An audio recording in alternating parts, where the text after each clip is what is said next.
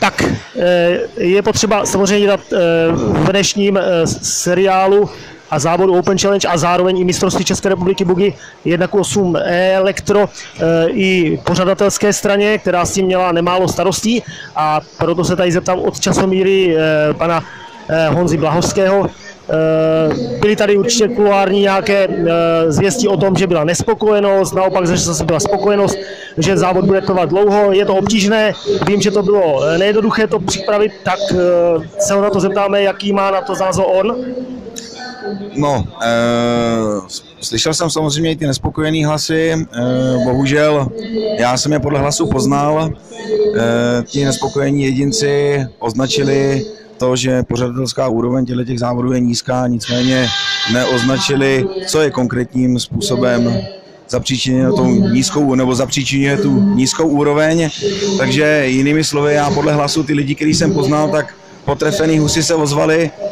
E, jinými slovy, ty, kteří byli v závodě napomínání, ať už za nebezpečnou jízdu nebo za nesportovní chování, tak nám to asi zřejmě chtěli tímhle způsobem vrátit, nicméně to nekomentuju. To si musí v hlavě rozebrat každý sám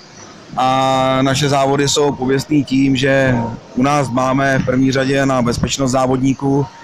Výsledek je samozřejmě pro závodníka jako jednotlivce důležitý, nicméně pro nás jako pořadatele je důležitý to, aby ten závod proběhl v klidu a v pohodě a hlavně bez jakýchkoliv zranění. Takže na to tady u nás dbáme. To, jestli někdo bude vykládat, že v hale se dá hala postavit tak, aby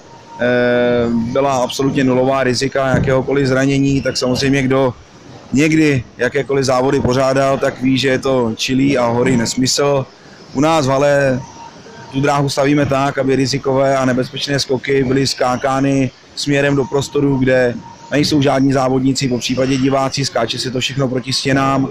Nicméně nasazovač v té dráze být musí, ať už eh, z toho důvodu, že dojde ke kolizi, anebo prostě ten jezdec udělá nějakou chybu, takže prostě ten, kdo je na tribuně, nemůže zbíhat z tribuny, potřebuje pomoc a ten nasazovač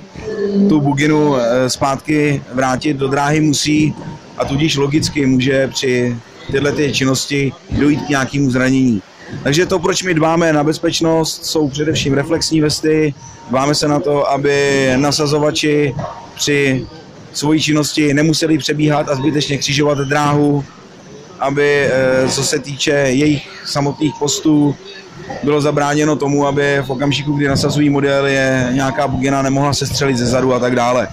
Takže absolutně nemůžu souhlasit s tvrzením některých závodníků, že když postavíme dráhu, tak jako pořadatelé e, bychom měli ručit úplně za všechno. Samozřejmě, když někdo bude stát na tribuně a v úvozovkách pojede jako naprostý bezmozek v hale, kde jsou stísněné prostory, kde eh, je v podstatě minimální šance na to někde uskočit, anebo když dojde k technické závadě a ten model se zblázní, tak samozřejmě k problému může dojít, ale my jako pořadatelé se ho snažíme eliminovat. Bohužel eh, nezavděčíme se všem lidí, kteří k nám na závody jezdí pravidelně, tyhle ty naše pravidla ctí a respektují je.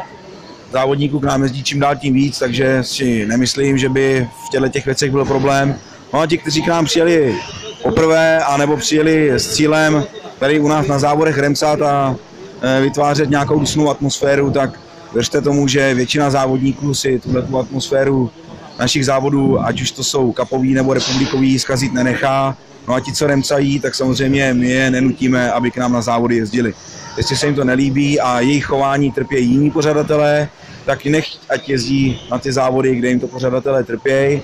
protože prostě ho, v ty hale se musí dodržovat přísnější pravidla než na závodech venku